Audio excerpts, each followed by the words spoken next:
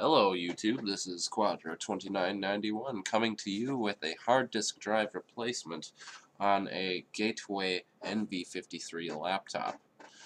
The laptop itself was dropped and the only thing that broke was the hard drive. There was no physical damage to the exterior of the computer. That was a good thing hard drive that I bought as a replacement was a Western Digital Scorpio Black Series hard drive with a capacity of 320 gigabytes and a RPM speed of 7200.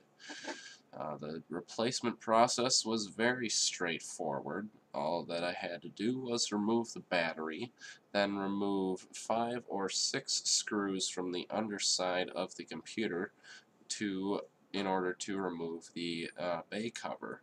In there was the broken hard drive, and only holding that in place was one screw. After removing that screw, the hard drive slid straight out of the computer itself, and after that I had to remove the bracket from the hard drive, the mounting bracket.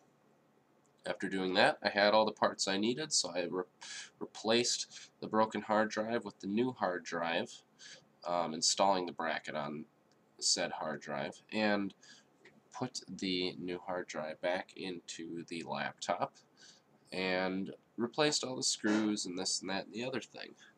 After that I had to reinstall Windows 7 64-bit uh, Home Premium Edition on the laptop.